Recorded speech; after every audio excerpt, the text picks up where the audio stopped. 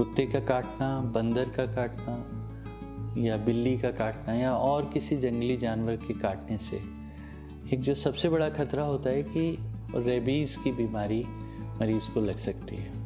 तो ऐसे में बहुत इंपॉर्टेंट है कि उसके ज़ख़म को अच्छे से धोया जाए और रेबीज़ के कीटाणु, क्योंकि लिपिड के नामक पदार्थ से बने होते हैं, उनके जो सेल वॉल्व है जो रेबीज़ के वायरसेस हैं जिनको विषाणु कहते हैं तो वो साबुन के झागों से ज़्यादातर वायरस लोड कम हो जाता है क्योंकि वो धुल जाते हैं। तो हमेशा कोशिश करना चाहिए कि अगर जख्म बहुत बड़ा नहीं है या बहुत ज़्यादा हिस्से में नहीं काटा हुआ है तो ऐसे मरीज़ के जख्म को अच्छे से या तो आप रनिंग वाटर से धो सकते हैं, या सलाइन से जो सुकून एड में आपके किट में अवेलेबल है, उससे छेद करके उसको धार मार के उसको धोएँ और उसमें साबुन भी लगा के उसको झाग से उसको धो सकते हैं। साबुन की स्थिति, साबुन अगर अवेलेबल ना हो तो सेवलॉन से धो सकते हैं।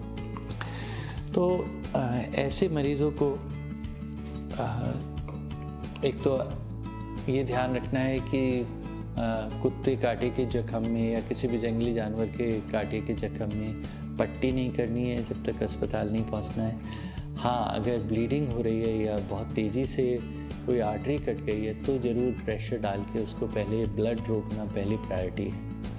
लेकिन अगर ब्लीडिंग रुक गई है तो उसको पट्टी करने की ज़रूरत नहीं है। उसको वहीं अस्पताल में ले जाके ही उसका आगे का इलाज होना चाहिए।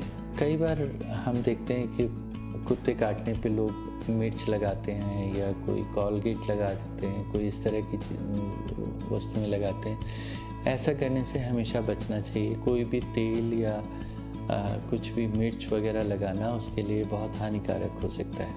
सो सिर्फ़ ध्यान रखें कि अच्छे से धोना है साबुन से धोना है और अगर खून ज़्यादा बह रहा है तो सबसे पहले खून को रोकने की कोशिश करनी चाहिए और खून रुकने के बाद बिना पट्टी किए अस्पताल ले जाने की व्यवस्था करनी चाहिए।